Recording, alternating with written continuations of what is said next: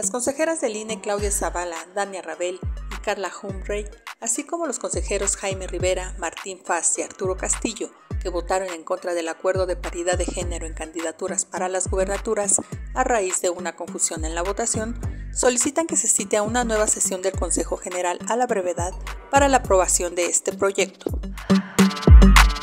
Hamas libera a dos mujeres estadounidenses de las 200 personas que tiene como rehenes desde el ataque del 7 de octubre en el sur de Israel. La organización indica que las liberó por razones humanitarias en un acuerdo con el gobierno de Qatar.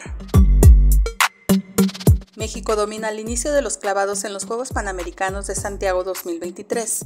Gabriela Gúndez y Alejandra Orozco se confirman como serias candidatas a medallas al clasificarse para la final de plataforma de 10 metros en el segundo y tercer lugar respectivamente.